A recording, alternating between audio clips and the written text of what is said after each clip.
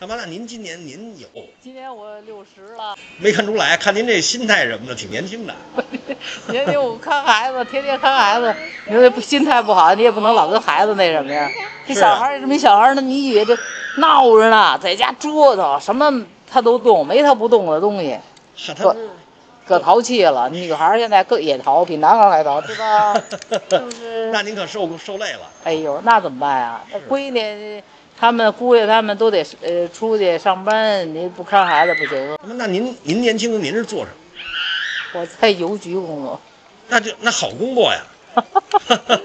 那您这属于是那个事业单位了吗？邮局？嗨，这也不是谁也不算事业吧？嗯，哦，那这会儿工作可不可算不错了，又稳定啊，倒是是一直就是一直干到五十退休。啊。那您在邮局您是做什么的？邮局做在营业里是吧？那就是管钱嗨，也不算管钱，就是邮政吧。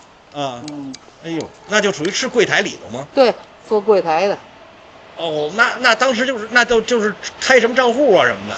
这不是开账户是储蓄银行，我们是邮政，就是寄信的、哦，寄款的、寄速递的、寄包的。哎呦，那不仅啊需要耐心，还得需要说这个干服务行业不就是这样吗？是，吧那您？还得那您还得生气呢，到时候要遇见的，太多。那可不是嘛，那顾那个顾客什么人你都得见识啊，嗯，什么人都得也有好的，也有那个蛮横不讲理的，是吧？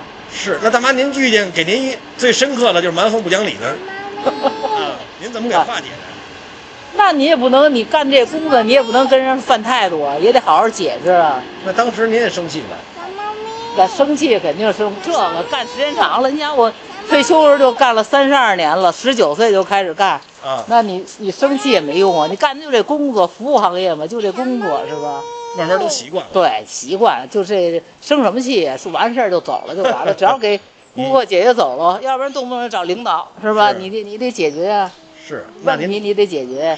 现在那原来那小年轻的，动不动那时候我也是十几岁就上班，也气得净哭。您那时候年轻啊，后远就不说，到岁数了，你也就没有那那什么了，只能就解释呗，是不是？那您真真棒，大妈，那您现在您退休金能拿多少钱？退休金拿五千块钱吧，还可以，啊，反正凑合，是吧？也不多，也也不远。人家现在有的退休拿七八千呢，是不是？拿一万多呢。嘿，我们。那退工资退休时候本身就就不是特高，等于这现在老涨钱，每年不是都涨钱吗？是，啊？现在就是什么呢？比那个不比谁呀、说那个这咱也不比，是吧？你比人有钱呢，咱也没钱，是吧？就是一普通老百姓，就住这破房子。那可以是吧啊。然后你比人没钱的吧，咱也不是说吃不上饭，是吧？对，就是就不能跟人比。我从来心态特好，我从来不跟人比，没错。自己什么情况，家里就什么情况，是吧？嗯，现在都都是退休费，是吧？就是点退休费。现在比的就是什么呀？看谁退休金拿的时间长，嘿，人家就比的是心态，比心态哎